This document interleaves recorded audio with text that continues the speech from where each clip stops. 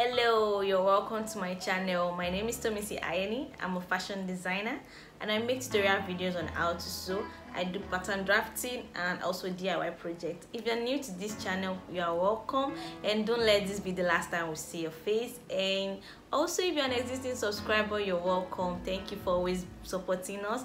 Thank you for always watching our videos and thank you for always engaging our posts also. In today's video, I'm going to be sewing an halter neck dress. Yes. This is the pattern I'll be using. The tutorial on how to make this pattern will be on my channel real soon. Now I'm going to adjust this pattern to the design I want it to be. So I'm going to measure about 6 inches down here. As a new neck the depth of my neck is 6 inches and I'm going to mark out the midpoint of my shoulder so this is necessary if you are doing a, an halter neck that it's um, having a shoulder.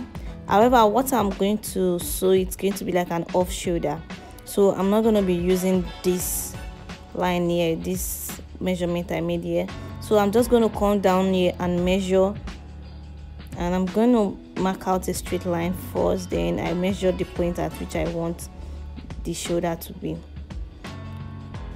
so the straight line now it's our new shoulder guideline. Is our new guideline now. So this is the point at which i'm going to be using for the neck hole. So from that point i'm going to measure down about one inch and use a curve to just curve it up. Depending on the neck hole that you want you can just design it anyhow you want. If you want it to be straight like that you can maintain it straight at the armhole here i'm going to come down about one inch. Because the strap i'm going to be using for the halter neck is going to come from the armhole so that's why i'm coming down one inch because the strap is going to be about one inch or so. So basically this just it the neck hole the measurements and that's all I'm just going to cut this out for the front.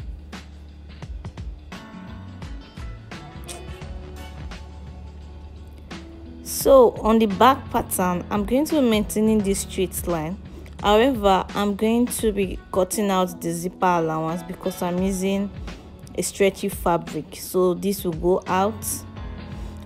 The dart allowance also will have to go because it's a very stretchy fabric and i'm not going to be needing the sewing allowance either. So the part where i asterisk here is the line i'm going to be cutting out. That's the body measurement. That's the correct body measurement without adding anything. So i'm going to be cutting out the sewing allowance the dart allowance and the zip allowance. So we are just going to be left with a normal body measurement. So now i'm cutting it. This is the sewing allowance added so i'm cutting it out and i'm cutting this out. Now this is the normal waist measurement here without adding any dart allowance or sewing allowance. I hope you understand what i'm doing right here. So i'm going to be maintaining this armhole the same armhole depth here. So i'm just going to be measuring cutting out this armhole here also the zip allowance is going to go. As i said earlier so i'm cutting it out now. The zip allowance have to go. So if you are drafting a pattern for this i would advise you not to add zip allowance if you are using a stretchy fabric or a um that allowance. So my pattern is having this because i also use this pattern to do a tutorial on how to make a basic gown pattern. So if you are using a fabric that it's not so stretchy you are going to be needing your sewing allowance and probably your zip allowance also. But for this fabric i'm using i'm not going to be needing any allowance. It's very stretchy. I'm even going to be sewing it but i'm going to be sewing it about an inch but i'm not going to be adding it to the pattern so that's advantage of a stretchy fabric. So for the front also i'm going to be cutting out the sewing allowance also. So i'm cutting out the sewing allowance and the upper parts right there.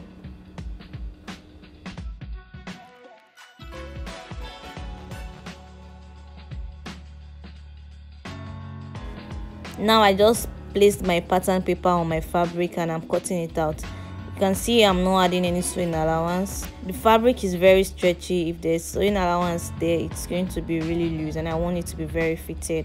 So this is the back also. I'm just going to do the same thing for the back. Just cut the back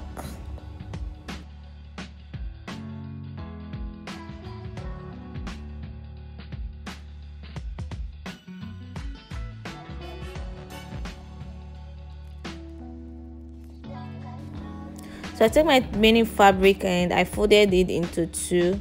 I have about 36 inches in length and i'm going to fold it in two again. That's folding into four. I'm cutting two strap for the halter neck. I'm going to leave it to be about 1.5 yeah about 1.5 so the strap should be about one inch. When after sewing it should be about one inch. So I'm leaving 1.5 for sewing allowance. So I'm just cutting this out. So this is folded into four. So it's going to be two. That it's going to be two.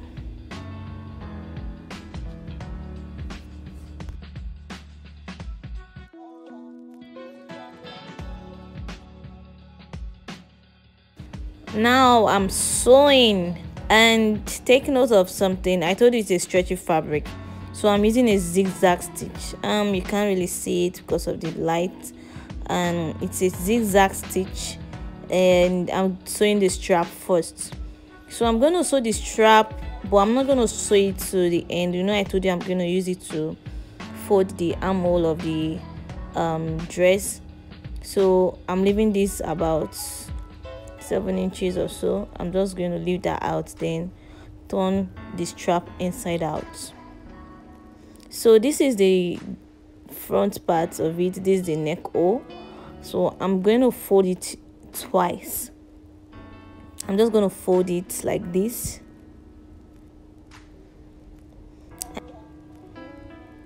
And i'm going to sew it. But i'm not going to use a straight stitch because it's a very stretchy fabric as i said earlier. So for you to maintain stretch in stretchy fabric we use um, a zigzag stitch. So my tabletop has different zigzag but i'm not going to be using the small one. I use this one for the strap but i'm going to be using this wider one for the neck hole.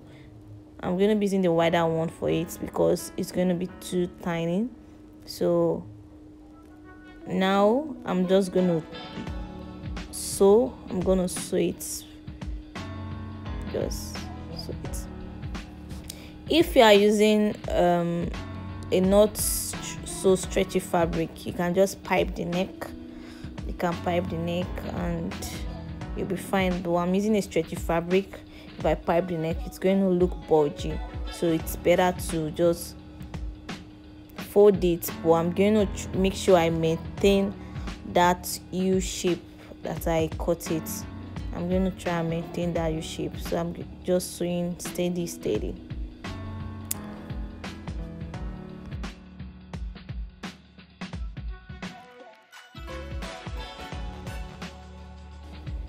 So take a look at this. You can see how it's neat very neat now the next thing to do now with the back i'm going to just do the same thing for the back. Just fold it into like this and just so straight just straight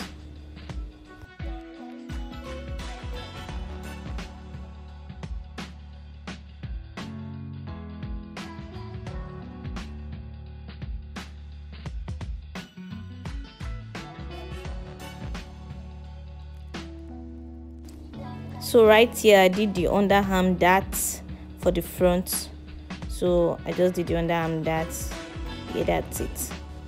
After turning my strap inside out so i have this opening here. So i'm just going to tuck in the armhole in between it. So yeah just like this in between. Nice and easy. Then pin it down and just sew on it. I'm going to use zigzag stitch also. So i'm using zigzag throughout the sewing of this fabric because it's stretchy. And to maintain the stretch in every aspect of this i need to use a zigzag stitch. Because when you use stretch stitch on stretchy fabric it won't stretch. Wherever you sew won't stretch. It's just gonna be there. So i'm just gonna do this for both sides and you can see you can see the results. Nice and easy very neat and it's beautiful. Now i'm placing the front on the back and i'm just going to pin it down and sew the sides. So also i'm using a zigzag stitch but i'm not using the bigger one. I'm using the smaller one because i want it to look neat at the side. I don't want it to be so obvious that so i'll go ahead and do the other side and fold the down part using the same zigzag stitch.